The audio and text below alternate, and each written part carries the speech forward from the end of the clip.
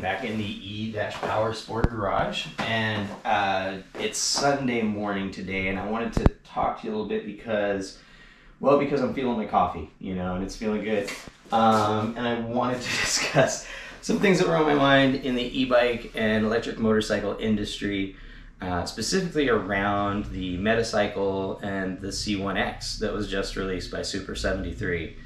Um, I'm not like going to go into great detail about it. I'm just going to say that these companies are big reasons I started my company, uh, and not specifically to make electric bikes, but to kind of help act as a validation intermediary between you as the consumer and the electric bike industry because these companies are just more than happy to sell you a dream on a piece of paper and not deliver. Um, over and over again, the history has shown that they either don't deliver, underdeliver, or overcharge.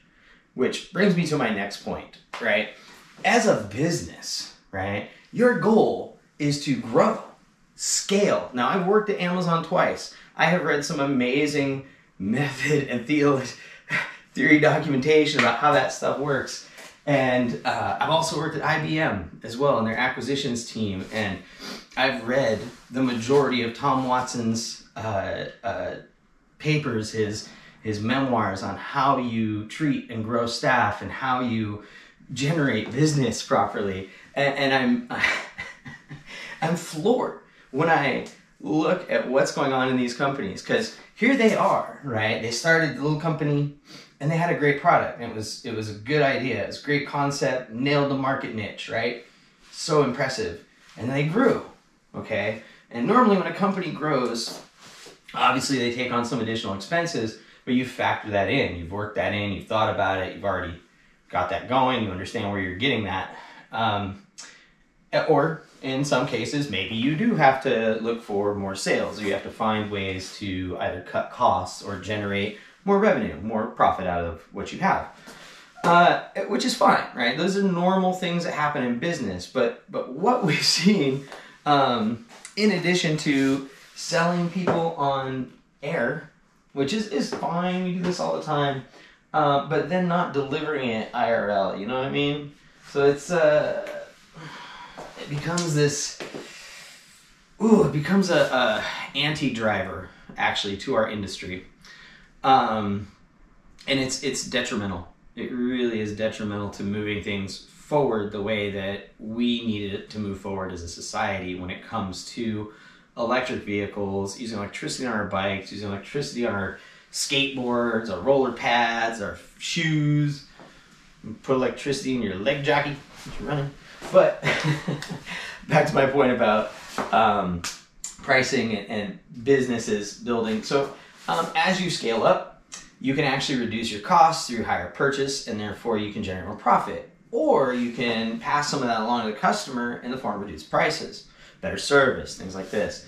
Uh, these companies, not this one, but not any of the companies here except for that one over there, uh, actually raise prices. So, so they're they're getting bigger. They're able to buy more for less, then they're turning around and saying, "Oh, well, we bought it for less, but we calculated our whole business model for less, which meant we, which really means we were going to take more profit, right?" And so, so we have to raise the prices on the bikes now because I got to, I got to take more profit. Not me, but that's that's the scenario that happens, and so it's completely counterintuitive to any I hate saying normal business practice because there really is no normal business practice a lot of times. But any uh, ethical direction, let's say, um, especially if your goal truly is getting riders on the bikes and getting them out there, okay, um, then it makes no sense to raise the prices on them so that you can cover things that you didn't plan on, that you didn't have the foresight to see, um, or yeah, I don't. I don't even understand why. I mean, I'm a small business myself, but I'm able to bring you similar, sometimes the exact same bike, uh, for less, right? And even give you free shipping and, and give you support. And we're building this and we're growing this. And so I guess I and when I look at it, my goal is to find ways to reduce the the costs, so I can reduce the price to you, make it even more accessible, um, and still stay in business. You know, so I, I guess I, I get confused when I look at these other companies, especially ones that are in the like 300 million or 100 million dollar category, and they they one they need more money. I don't understand that at all. Um, and two, they're telling you they're going to charge you more. I mean, you should be livid. I would be livid. It's like, it's like what's going on with gas.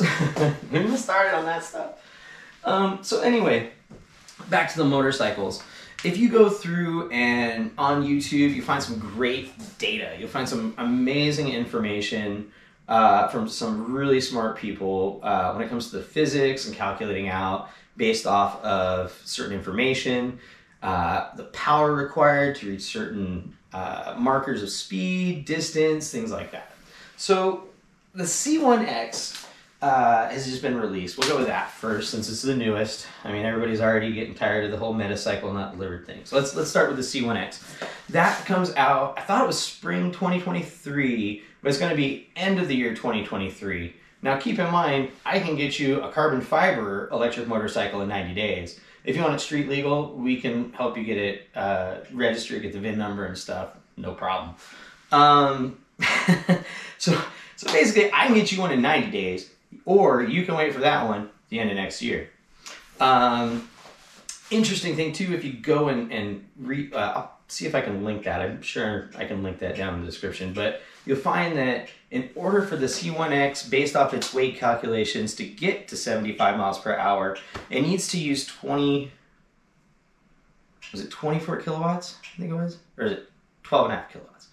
Which isn't bad when you look at it. Um, but usually once you start getting up to those higher ranges, they do cost more, right?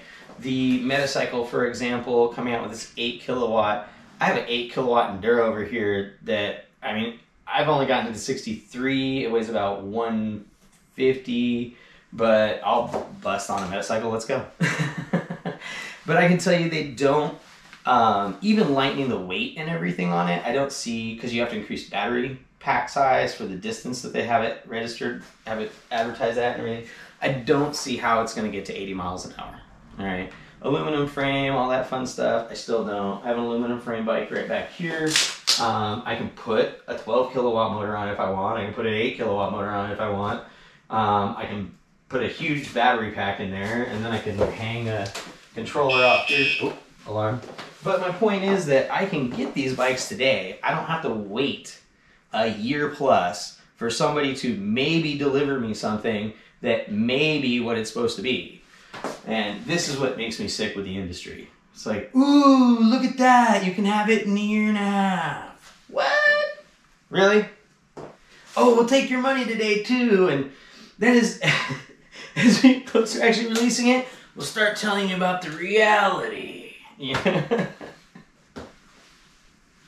I think that's why the, and I think that's why the metaverse is is coming about and will probably be big for some people because then we can take those dreams that were sold, put them in the metaverse, they'll be what they're supposed to be. Frustrating. It frustrates me because I can get you electric motorcycles 90 days or less. I can get you ones that are actually DOT registered. You want an ES1? I can get you ES1. Um, you want one of these? You want to tool around? You want to be high powered, aluminum frame, big battery? You can get you that. You want something a little motorcycle? We can get you that. You want an actual motorcycle? We can get you that. But people are being sold on dreams that companies are just barely delivering on. I mean, come on, look at the track records. Okay? Look at what you're getting for what you're paying, and then look at the track records of these companies on delivering. So, so far, I'm at 100%.